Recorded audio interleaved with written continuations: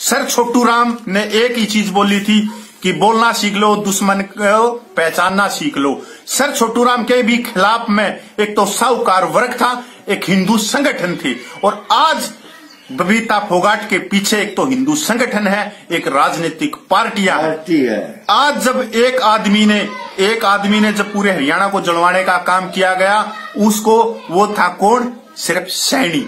आज इसी कास्ट में और उसी कास्ट के अंदर एक डिमक लगा दी गई। किसके लिए? बबीता फोगाट के दिमाग में जहर फैला के। भाई मैं हरियाणा वासियों से अपील करता हूँ जिस तरह का जहर फैलाया जा रहा है उस जहर के बहकाव में तुम भी ना दो और पूरे अपने समाज को अपने हरियाणा को और पूरे भारत की एकता को बिल्कुल भी जहर घोलने का काम मत करो। भाई मैं भी पूरा सैनिक हूँ। मैं पूरा सैनिक कपिल जज्जर से हूँ। और आज हमारे साथ में एक अस्सी साल के बुज़ुर्ग हैं। हम सिर्फ़ ये आए हैं कि जिस तरह का हमने जहर देखा है पूरे हरियाणा में, पूरे इंडिया में, कि कोई भी राजनीतिक पार्टी उसकी अवहेलना नहीं करेगी। मैं कर रहा हूँ बबीता फोगाट के उन शब्दों की बात कि वो एक कौम को, एक पंथ को, एक धर्म को निशाना बना रही और वो निशाना बनवा रही है राजनीतिक पार्टियाँ, कुछ हिंदू संगठन। भाई, मैं उन सारे पूरे हरियाणा देशवासियों से कहना चाहता हूँ कि इस बहन के पीछे चल के पूरे समाज में आग लगाने का काम मत करो। दूसरी बात, माँ आज बबीता फोगाट से पूछना चाहता हूँ, आप जिस धर्म के खिलाफ में चल रही हो, एक जमात को लेके, आदमी, अगर खराब है तो उस आदमी को लो। आपने पूरी कौम को सुअर बता दिया। हम फौजी आदमी हैं। आपको ये मालूम है कि अगर फौजी बॉर्डर पर ना खड़ा होता तो आप जैसे खिलाड़ी नहीं बनते। आप ये बोलते हैं कि मैं खिलाड़ी हूँ, हमने गर्व है कि आप हरियाणा की शान हो।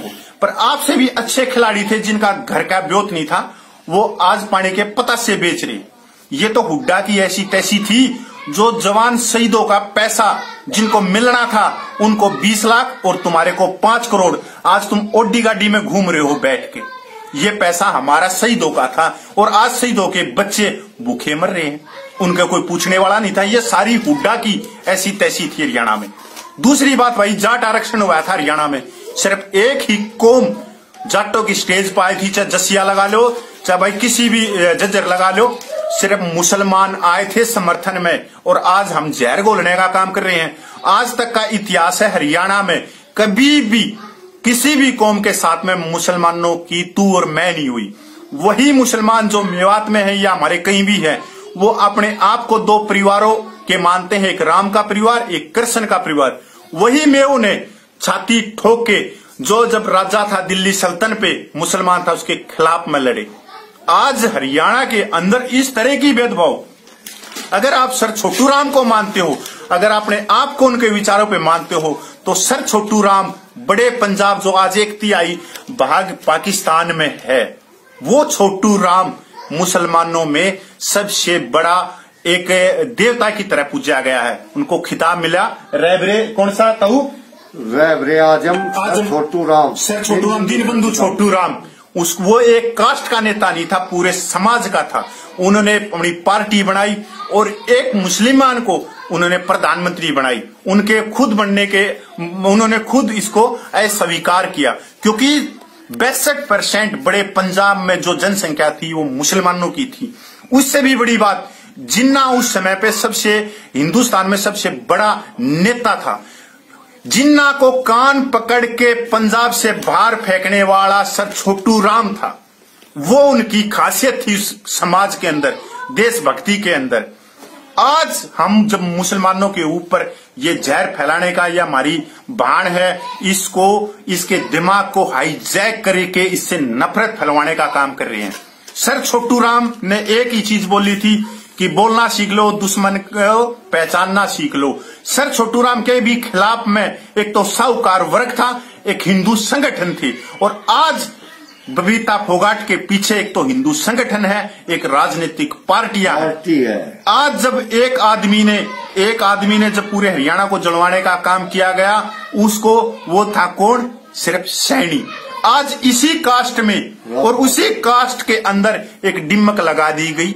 किसके लिए बबीता फोगाट के दिमाग में जहर फैला के? भाई अगर बबीता फोगाट को आप इतना हिंदू शेरनी वो कर रहे हो हमने गर्व है उस पे पर समाज को मत टूटने दो क्योंकि ये समाज जो हरियाणा का है वो बड़े ही एकता है। तऊ तेरी बड़े तऊ तो दूसरी बात। हमने सेवा करी है मुसलमानों के साथ में। और ताऊ ग्रेनेडियर ग्रुप से है उसके अंदर सबसे ज़्यादा मुसलमान है परमवीर चक्कर पहला पहला। वो भी मुसलमान ने मिला विक्टोरिया चक्कर वो भी मुसलमान ने पहला मिला मंगल पांडे का साथ देनिया भी मुसलमान झांसी की रानी का भी साथ देनिया तो मुसलमान। सबसे ज़्यादा शहीद शहीदों की लिस्ट भी देखोगे तो मुसलमान। बहुत ज़्यादा है यार कौम में बड़ी बहादुर है। ताऊ एक में एक में हाँ। तू बता दे अस्सी साल का है बबीता फोगाट ने बेटा कह गए ये लड़ा होने का मत कर। देखो बेटी बबीता माँ जोड़ के कहता हूँ ये जहर मत फैला हम आपका सम्मान करते तुम आप मेरी बेटी हो पोती हो। लेकिन आप ये जो जहर फैला रहे हो ना हम नौकरी करके आ रहे हैं मुसलमान भाइयों के साथ। जो हमारा उनका रहन सहन है बिल्कुल एक है लेकिन आप किसी पार्टी के दबाव में आकर हिंदू संगठन। हिंदू संगठन किसी पार्टी के दबाव में आकर ये बयान दे रही हो ये आपके लिए गलत है आपको से बयान नहीं देती मैं तो यही कह सकता हूँ आपको बस। प्रधानमंत्री भाई कति बिल्कुल क्योंकि जो पैसा तुम्हारे को मिला वो हमारा पैसा था हमारे भाइयों का पैसा था हमारे घर तय आदमी गए हैं शहीद हुए हैं। उनको मिलना था पाँच करोड़ जो बैठ का जोडी गड्डी में घूमे हैं। ये तो हुड्डा की इसी तीसी थी। भाई आइए ईश्वर दो ये भाई फौजी यो पैसा भाई मारा था। और ओडी में घूमने लाग रहे था मैं। और मारे बच्चे भूखे मर लाग रहे ना शिक्षा के लिए ना कुछ और के लिए। भाई एक मैं बबीता फोगाट ने ये बता दे कि समाज को क्यों करे फौजी है भी भाई। हाँ। भाई साहब पहले सभी को मेरा हाथ जोड़ कर नमस्कार। तो बबीता कोगाट ने हिंदू मुस्लिम में जहर फैलाने का काम किया है। जबकि ये हमारे साथ कंधे से कंधा मिला के चलते हैं हमारे साथ लड़ाई लड़ते हैं सबसे ज़्यादा कुर्बानी इनकी पक्के देश भगत हैं। अरे चंद एक आदमियों की वजह से पूरी कौम को बदनाम न किया जाए। जिसने गलती की उसको सजा दो। अरे हमारे हरियाणा में ऐसा काम कभी नहीं हुआ था। प्यार सभी एक साथ मिलजुल कर रहते थे। और ये बबीता फोगाट ये जो पैसा है ये पूरे देश का पैसा इन खिलाड़ियों को दिया जा रहा है जो हमारे टैक्स फेयर का पैसा है। जबकि शहीद परिवारों को मिलना था। ये हमारे पैसे के बल पे जात पात का जहर घोल रहे कुछ हिंदू संगठनों के दबाव। में और कुछ राजनीतिक दबाव में। तो ये देश को बिगाड़ने का काम कर रहे हैं। अपना नाम बताए भाई फौजी मैं फौजी हूँ। ईश्वर सिंह गहलोत मेरा नाम है। और गाँव? गाँव मेरा गोची है। और जज डिस्ट्रिक्ट और सबका संघर्ष कमेटी का मैं मेंबर हूँ। भाई मारा के मारा देख मारा धर्म है। हम फौजी आदमी हैं। क्योंकि मार पे उंगली उठाने के लिए उस आदमी को खुद के अंदर सौ गुण चाहिए। इसलिए पे उंगली नहीं उठा सकता। इसलिए हमने बीच में आना पड़ा। क्योंकि एक बार हम इस इस हरियाणा को देख चुके हैं। भाईचारा जो मारा गया है, जो आग लगती देखी है, क्योंकि हरियाणा एक कोम का नहीं, हरियाणा है इसके। इसका धर्म हरियाणा है, इसकी जाति हरियाणा है। अरे हरियाणा तो पूरे पूरे वर्ल्ड में है, जहाँ हरियाणा आ गया, हरी की भूमि आ गई, हरियाली आ गई, और उसमें इस तरह की नफरत फैला रहे हैं। मैं बबीता फोगाट बहन को, बेबे को बोलना चाहता हूँ, जो पैसा तेरे पास में है, वो मारा पैसा है। फिर बोलना चाहता हूँ कि हुड्डा की सी तिसी हुई, जो मारे पैसे से तेरा घर भरा गया, तू ओडी गाड़ी में बैठाई गई। तूने कितने शहीद परिवारों के पास में जाके, तूने उन सैनिक, विधवा, वीर नारियों के पास में उनके आँसू पूछे हैं। जा पूछ, तेरे रक्षा मंत्री ने तेरी रैली करी दादरी में। हमने बहिष्कार कराया तेरे पास में 127 आदमी थे। तेरी रैली में 127 आदमी थे, जहाँ पर रक्षा मंत्री आता है। सबसे ज़्यादा दादरी में सैनिकों की धरती है। भाई, सैनिक, सैनिकों से अपील करता हूँ मैं तो कि भाई, एक वही आदमी है जो शपथ लेते हैं। बाइबल पे भी, गुरु ग्रंथ साहिब पे भी, गीता पे भी और कुरान पे भी कि इस देश की रक्षा हम बगैर जाति के, बगैर धर्म के, बगैर पंथ के करेंगे बगैर पूछे हुए करेंगे। बस तो मैं दादरी के पूरे सैनिकों से अपील करता हूँ कि ऐसे जहरीलों को अगर आप राजनीतिक कुर्सियों पे बिठाओगे तो आग लगेगी आपके बच्चे हिंसक होंगे। गीता बबीता फोगाट को भी बताना चाह रहा हूँ बेबे या आग तेरे घर तक भी आएगी तेरे बच्चों तक भी आएगी ये चीज़ मत कर।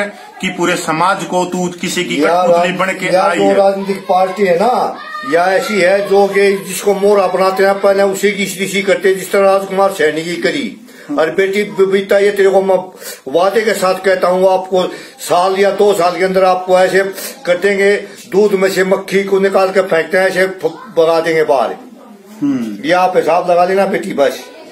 बिल्कुल बिल्कुल। बबीता बेबे, जो तू कर रही है, बहुत ही जहरील कर रही है। तू बोल रही कि मैं डरती नहीं, वो नहीं करती। मत डर। किसने बोला डर नहीं, मत?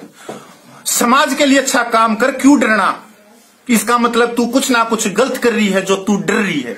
हम तेरे साथ में समाज के लिए लड़, समाज का भला कर। जो समाज में बहुत चीज़ें हैं, सुधार के लिए। एक बार सर छोटू राम ने पढ़ ले सर छोटू राम ने जान ले अपनी बात खत्म करता हूँ अगर सर छोटू राम ने तू जान गई तो सब कुछ है। छोटू राम ने बेटी एक ही चीज़ बोला था कि अपनों को ले पहचान और बोलना ले सीख। ऐ मेरे भोरे जमींदार तो बेटी मैं आपको ये कहता हूँ पढ़ी लिखी हो और आप बहुत ऊँचा नाम करे लेकिन आपके अंदर बुद्धि नहीं है बेटी। अगर आपको ये खबर अच्छी लगी तो लाइक करें ज़्यादा से ज़्यादा शेयर करें और चैनल को ज़रूर सब्सक्राइब करें। धन्यवाद।